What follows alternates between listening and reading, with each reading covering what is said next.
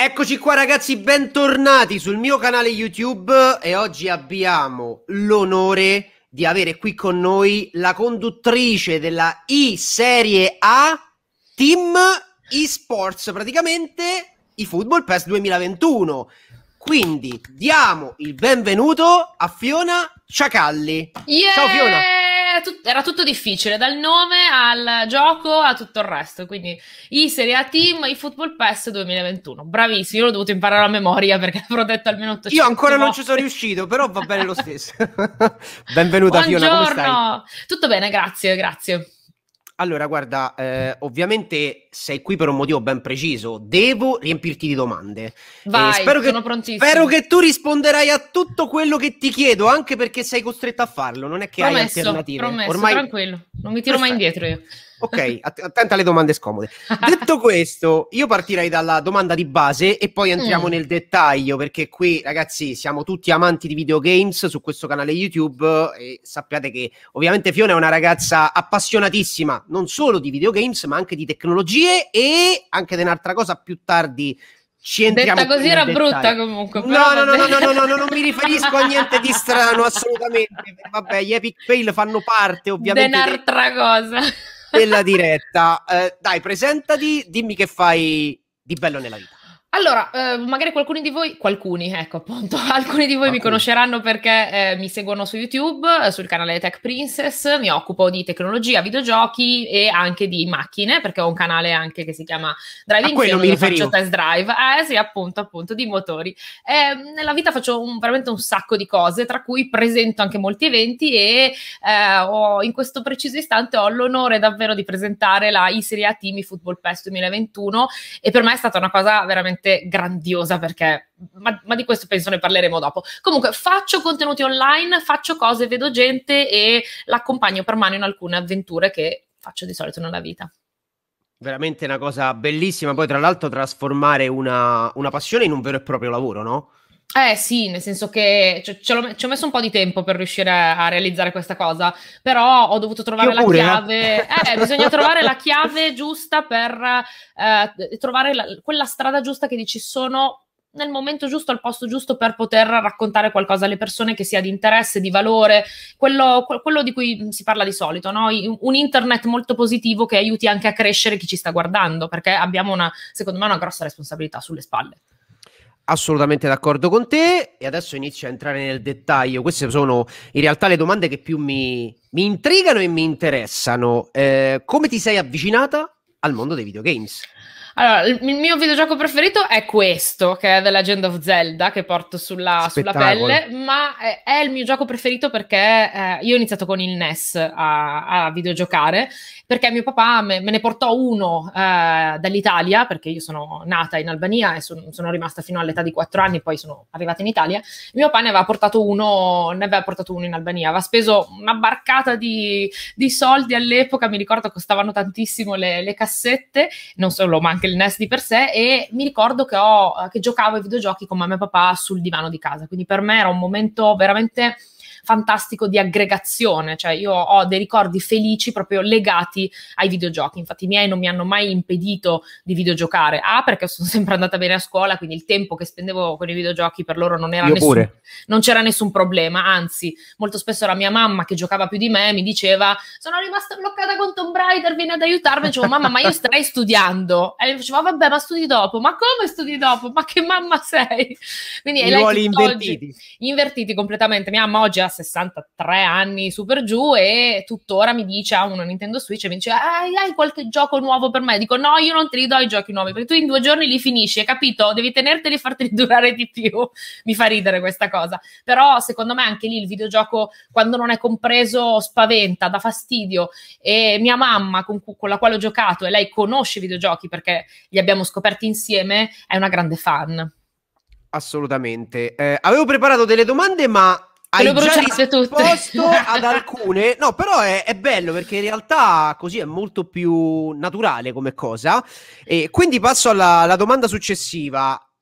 Mi hai detto che il tuo gioco preferito ovviamente è Zelda, e ok. E il tuo genere di videogame preferito? Ma guarda, eh, mi sono innamorata di Final Fantasy con l'otto e da lì i giochi di ruolo Eccomi. mi sono sempre piaciuti. Mi sono Eccomi. sempre piaciuti, sì sì. Eccomi, ti dico, Final ti dico questa... 8 Forever.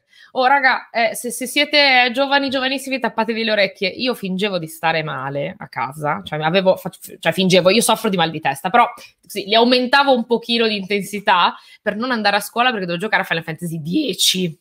Cioè, nel senso, aspettavo che mia mamma e mio papà andassero al lavoro e io giocavo, ma perché mi stava appassionando tantissimo. Quindi i giochi di ruolo, eh, quelli a turni, con le battaglie pianificate, sono i miei preferiti. Quelli action, mm, sì, me li faccio andare bene però Final Fantasy è una saga che mi ha sempre appassionata, quindi 8, 10, eh, anche il 12 se non è piaciuto, però li, li, ho giocati un po' tutti, insomma, tranne quelli online, il resto... Guarda, la cosa, la cosa bella è che anche io mi sono avvicinato a Final Fantasy per la prima volta con l'8 e poi li ho giocati tutti, ma credo che l'8, cioè, abbia dato... A parte che la grafica, non so se ricordi... Se la guardi adesso dici Dici, mamma che schifo se la guardi adesso, ma all'epoca per PlayStation 1 era un qualcosa di sì, pazzesco. Sì, c'erano le cutscene che dicevi, oh, sembra vero, che ridere. Spettacolo, però sì, sì, sì, era, era, una cosa assurda, però quello secondo me è stato il mio primo gioco lungo che, a cui ho giocato tanto. Per esempio mia mamma quello non riusciva ad apprezzarlo perché c'era molto da leggere, molto da um, immedesimarsi nella storia, lei è più da giochi immediati, no? Quindi Super Mario, altri tipi di giochi per NES che tutto sommato non avevano una storia eh, molto sviluppata proprio perché per l'epoca la tecnologia non lo permetteva. Quindi sì, Final Fantasy. Guarda, entro un attimo nel merito, eh, esce fuori di conseguenza un'altra domandina, ma ci sei rimasta male, senza spoilerare nulla, del finale di Final Fantasy X? Sì, c'ero rimasta de merda, eh, tantissimo, esatto. ho pianto anche molto, ho pianto anche molto, però sì, cioè, secondo me è, un, è uno delle con le storie più intense di tutti, sì. cioè nel senso non, non, puoi non piangere, sei hai il cuore di pietra, hai un bidone della spazzatura al posto, al posto del, cuore, del cuore assolutamente. E all'otto quanti... di grande livello, tra l'altro. Esatto. All'otto quanti anni hai passato al gioco di carte e al 10 a giocare a Blitz, a Blitzball?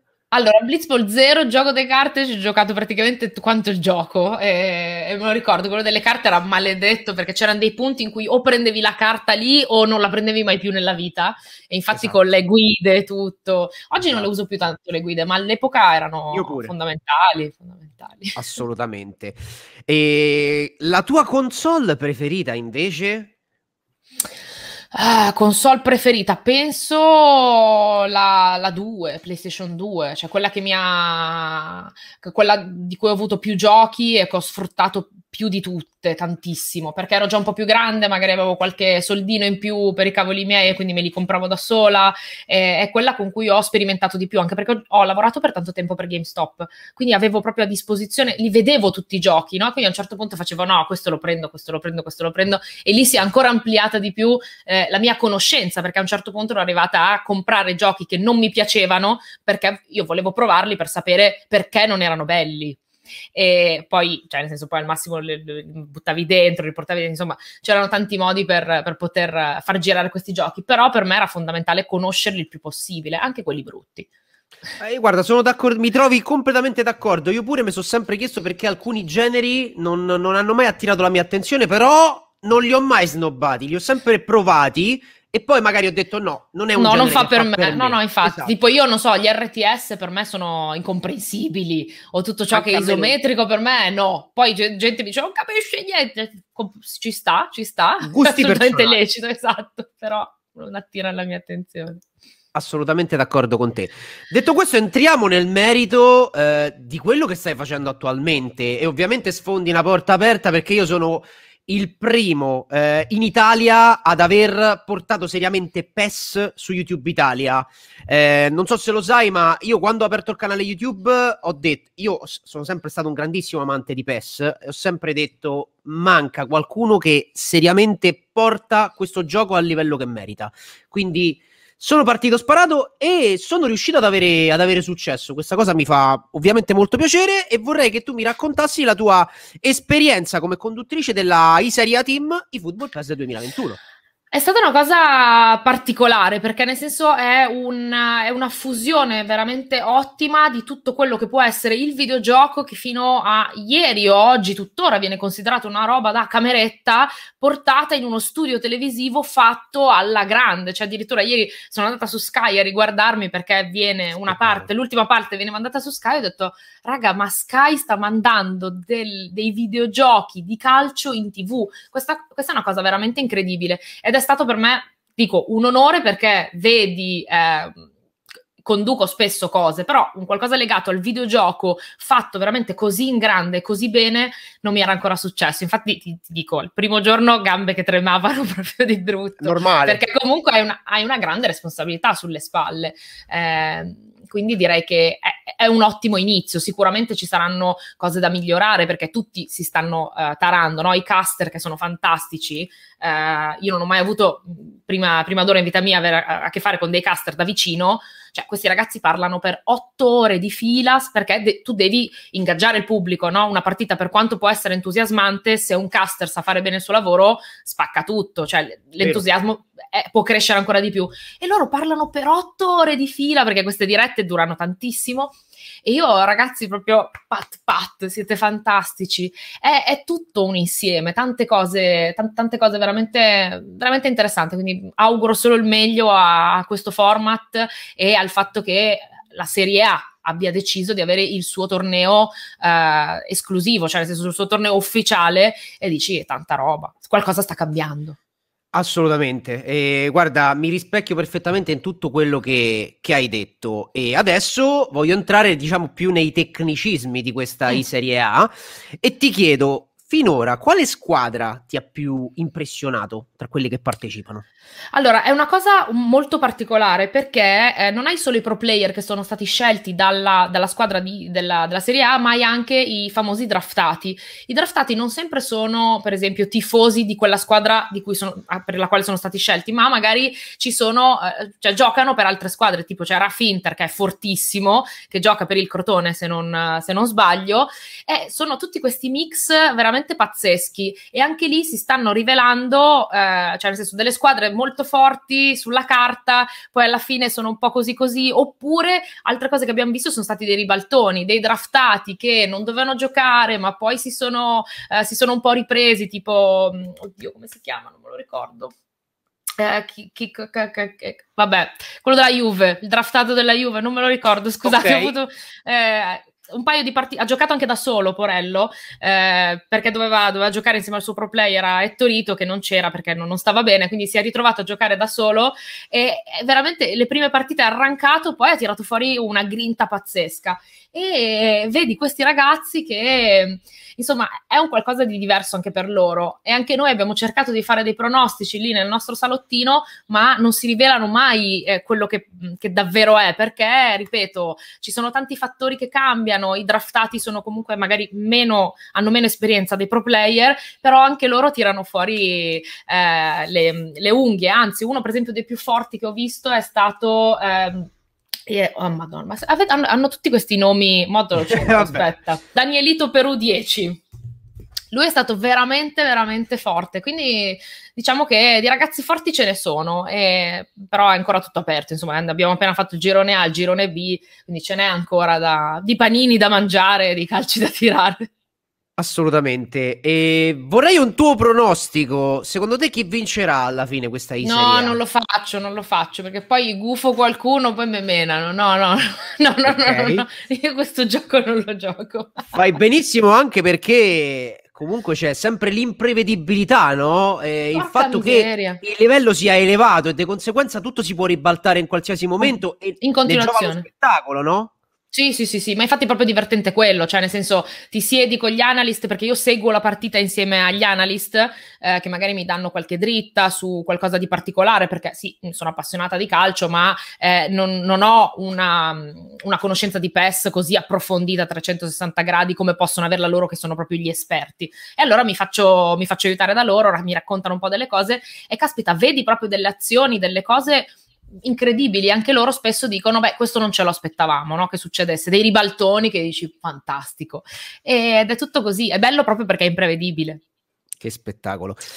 Detto questo, eh, visto che non hai voluto fare, giustamente però secondo no. me, un pronostico, io vorrei eh, spostarmi su alcune passioni che in realtà abbiamo, abbiamo, in comune ed è proprio per questo che ho deciso di farti queste, queste domande. Partirei da quella di base e poi le altre arriveranno di conseguenza. Da dove nasce la tua passione per, per i motori? Ecco, questa è una cosa che non mi sono mai riuscita a spiegare perché mia mamma e mio papà insegnano danza classica, non hanno una passione per i motori, cioè mio papà ha anche un po' paura della velocità. Io invece ho, ho sempre subito il fascino delle, delle, vetture, non dal punto di vista tecnico, ma dalle emozioni che ti possono trasmettere anche già solo guardandole, dalle forme, da, eh, da, da quanto vanno veloci, cioè è una cosa che mi da sempre, anche quando ero alle, alle superiori. E um, piano piano mi, mi, è sempre rimasta questa idea delle macchine in testa finché poi, boh, non so come è nato il tutto, ma ho aperto il canale delle, delle, delle, macchine dove in realtà non parlavo di macchine, c'ero io che andavo in giro e raccontavo delle cose in macchina. Da lì poi dei brand hanno iniziato a chiamarmi, hanno iniziato a darmi vetture in prova e da un canale di chiacchiere si è trasformato in un canale di test drive perché oggi sul canale ci sono quasi esclusivamente test drive o esperienze particolari, per esempio adesso andrò a seguire la la Formula E a Roma. E, Spettacolo. Insomma, bello, sì, no, no, è stata una cosa imprevedibile anche questa, però siamo sempre pronti alle nuove avventure. E allora eh, adesso posso eh, farti anche questa domanda, perché ovviamente so che segui anche la Formula 1 e volevo sapere se ti piace anche la MotoGP. Allora, non sono mai riuscita, allora, con calma, perché già mi sono appassionata piano piano alla Formula 1 in tempi recentissimi, tipo due anni fa. Eh, tutti cercavano di dirmi, no, ma guarda che la Formula 1 è fighissima, devi seguirla. E facevo, ma raga, ma le macchine fanno solo mem, mem, mem, così. Poi ho visto Formula 1 Drive to Survive, la, la serie su Netflix. Mi si è aperto, ti giuro, un mondo che ho detto, no, cos'è sta roba? Ma è fighissimo. Da lì poi ho avuto in brevissimo tempo la possibilità di andare a Hockenheim, ho seguito il Gran Premio, quello di due anni fa, che è stato spettacolare. E, ehm, e, lì poi ho fatto un giro nel paddock, ho visitato il box Ferrari, insomma ho avuto questa opportunità di vedere un po' più da vicino come funzionasse tutto il circus e da lì basta, è stato tutto in discesa, mi sono, mi sono completamente appassionata perché non è solo la gara di per sé la Formula 1, è proprio tutto il, l'insieme. A me poi piace anche proprio sapere le storie delle aziende, come funzionano, gli equilibri, sono molto interessanti perché la Formula 1 è fatta anche di questo, no? anche del management, delle strategie dello sviluppo della vettura certo. durante l'anno. Cioè, sembra esatto. una cosa molto semplice, ma è, è, molto più complessa di quello che immaginiamo, no? Perché sì, sì, sì, assolutamente. Per quanto il pilota possa fare la differenza, è anche la vettura che guidi. Cioè, io sono sempre stato del parere, e non so se sei d'accordo con me, che i piloti che sono in Formula 1, anche quello che arriva ultimo, se sta lì è perché è uno dei migliori al mondo e mi piacerebbe vederlo con una vettura più competitiva quello che potrebbe fare. Te lo assicuro, sono delle cose pazzesche. Poi anche lì, cioè ti dico, ho avuto la possibilità di andare a Enston a vedere la, la fabbrica dove viene sviluppata la Renault che ormai che si chiama adesso Alpin, però eh, anche lì loro raccontavano che per esempio non hanno gli stessi budget di Mercedes o Ferrari e cavolata, loro possono, non hanno la galleria del vento, o perlomeno hanno una galleria del vento molto piccola e eh, devono tipo fare delle prove con la macchina in scala e non hanno il circuito. Quindi, cioè, rispetto ad altri team che magari sono un po' più ricchi, eh, hanno delle possibilità in meno. Quindi lì vedi proprio eh, anche la differenza di ingegnarsi nello sviluppare una macchina che sia all'altezza anche di, dei team più ricchi. Però è molto interessante proprio quello che c'è dietro anche alla Formula 1, non proprio la gara di per sé, che è il culmine di quello che noi vediamo. Mi hai fatto ritornare in mente, non so se ti sei informata perché all'epoca non le seguivi, le mitiche Brown GP. Ecco, no, quelle non le conosco. Guarda, ti consiglio, ti consiglio di recuperare quell'epoca, mi pare 2007-2008, e la, la storia dei diffusori, no? Come le Brown GP eh, ovviamente scuderia di Ross Brown, che è stato per tanti anni team principal della, della Ferrari, come sono riusciti con, con, dei diffusori a creare praticamente una vettura dal nulla che, che fosse superiore a tutti nettamente. E... Ma infatti è proprio quello secondo me la cosa che è bella, cioè sapere e and- anche se uno non è tecnico, però andare proprio a scoprire delle curiosità su, uh, sui piloti, sulle macchine, sulle scuderie è veramente veramente interessante. Quindi se non vi siete ancora appassionati provate a mettere il nasino dentro perché potrebbe essere qualcosa che vi può piacere. Assolutamente. E la MotoGP? La segui? Ma sai che la MotoGP, ecco, stavo dicendo una cosa per volta. Ho iniziato adesso con la, con la Formula 1, sono andata un paio di volte a vedere dei MotoGP, sempre ospite eh, di, di, alcuni marchi, però n- non mi ha ancora catturata. Spero di metterci anche lì un po' il naso un po' più avanti, eh, perché tutti mi dicono guarda che è molto più appassionante della Formula 1, assolutamente. Più spettacolare. Più spettacolare, ci proveremo, non lo so, vedremo. Mai dire mai, io sono sempre aperta a tutto. Anzi, più le cose non le conosco, più mi incuriosiscono. Quindi, volentieri. Ed è questo il bello. E adesso ti voglio tirare fuori eh, una, una, domandina sempre sulla Formula 1. Eh, sono un paio d'anni che la segui, no? Quindi ti sarai sì. appassionata. Per chi fai il tifo? Cioè, c'è qualcuno che ti ha, ti ha impressionato? Motivo per cui dici. Perché poi ti spiego magari rapidamente la mia storia e magari dici: sì, faccio il tifo per quella scuderia o per quel pilota? Allora, sai che, cioè, nel senso, io adoro un pilota solo, ma perché è il suo modo di essere che mi ha eh, particolarmente stregata, che è Ricciardo, e non l'ho mai nascosta okay. questa cosa, perché è, un, è, molto cazzaro rispetto agli altri piloti che sono molto seri, così è, lo trovo molto affine alla mia personalità, quindi mi piace il modo che ha di affrontare eh, un po' tutto con molta leggerezza, prendere, senza mai prendersi troppo sul serio. Detto questo, non tifo nessuno, perché mi piace proprio um, vedere come si svolge la gara e gioisco sempre per il primo che arriva, perché immagino che cosa voglia dire stare lì dentro per un'ora eh, con, a, a 200 all'ora e secondo me chi arriva primo gioisco sempre per quello, cioè nel senso mi dispiace che la Ferrari recentemente non se la stia cavando molto bene, però veramente mi sta appassionando talmente tanto che non riesco a tifare per uno nello specifico, posso simpatizzare ma non ho, non ho preferenze, ecco. Io invece mi sono innamorato, piccola parentesi, sportivamente. Ovviamente sono un grande tifoso della Ferrari, da italiano, però mi sono innamorato sportivamente di Fernando Alonso. Eh, l'epoca della, della, Renault, della sua prima epoca alla Renault, ma ancora prima, quando militava nella Minardi, io lì mi sono innamorato di lui perché avevo intuito che, che, non era un pilota comune, che portava vetture anche nettamente inferiori, molto più al limite rispetto che, che piloti della sua altezza a parità di vettura e non mi sono sbagliato perché poi anche Briatore ci ha visto lungo, l'ha portato in Renault e ha vinto quei due mitici titoli mondiali.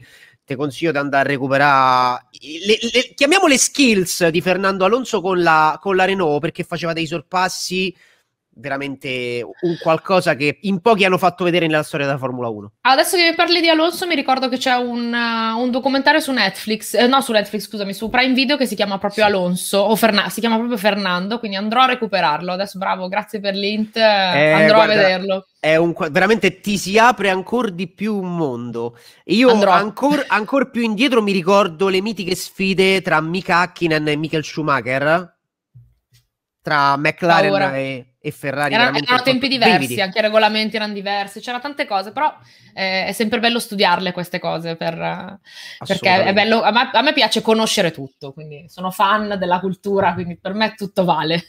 Assolutamente d'accordo con te. Guarda, ho terminato le domande a disposizione, ma potremmo stare qui anche altre due ore a parlare perché abbiamo veramente 250 passioni in comune. Cioè, io penso che qualsiasi un altro videogioco la, le tecnologie, ovviamente anche tu sarai super iper appassionata di tecnologie ah, sì, e lo sì. so, e io sono peggio di te, o comunque Purtroppo almeno per fortuna. Io sono il tipo che deve cambiare il cellulare perché appena esce il nuovo modello, la fotocamera con un megapixel in più Mia! la devo avere assolutamente. Quindi eh, sono tante le passioni che abbiamo in comune. Io ti ringrazio per aver accettato l'invito, sono veramente onorato. Grazie a te, grazie a te, assolutamente ti faccio un grosso in bocca al lupo per, per questa stagione ovviamente della, della e-serie, e-serie A Team eFootball PES 2021 e ovviamente io me la godrò dal, dal divano e ti auguro Crepi. ovviamente il meglio anche per, per, il futuro, per il tuo futuro professionale. Sono sicuro, guardando la professionalità che metti, che metti in mostra, che eh, farai tante altre cose belle nella vita Ti in ringrazio, questo, in questo caso. tantissimo. Detto questo, ragazzi, lasciate mi piace per supportare questi contenuti, iscrivetevi, attivate la campanella. Grazie ancora a Fiona Ciacalli che ha ovviamente eh, scelto di, di, essere qui con noi e ci vediamo alla prossima con un nuovo video. Ciao, ciao ragazzi, ciao Fiona. ciao, ciao, ciao. ciao.